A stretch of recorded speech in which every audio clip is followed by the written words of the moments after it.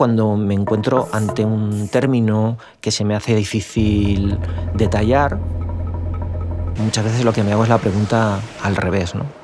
que es insostenible. Ahí sí me aparecen respuestas. Entonces muchas veces siempre pienso que en ese juego de espejos, que es el mundo, simplemente haciendo el reflejo a lo contrario, pues estará todo lo que es el alma de ese término que hay que describir. Kia, movement that inspires.